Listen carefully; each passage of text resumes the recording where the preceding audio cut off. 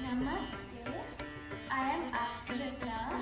I have been learning Bharatanatyam under my guru Smita ma'am for one and a half years. Today I am going to showcase a story about Lord Ganesha. Once upon a time, Parvati was making modak. She took the modak and put it in a pot. Then she took the pot and put it aside.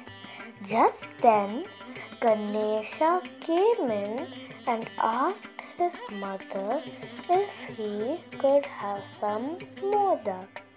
He took the pot and ate the modak happily. Then went to Kartikeyan's house. On the way, his stomach burst out and all the modak fell out. He quickly showed them back inside and looked around, trying to spot something to tie his stomach with. Just then, he saw a snake slithering by. He grabbed the snake and tied it around his stomach.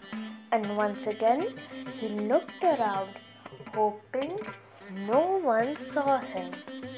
Just then, he heard a giggle.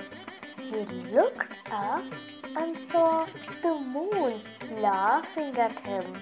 He cursed the moon that on the fourth day of the Ganesha festival, no one would see the moon. The moon said, Sorry. Ganesha said, On the fourth day of the Ganesha festival, whoever chants the special mantra would see the moon. The moon said, Okay.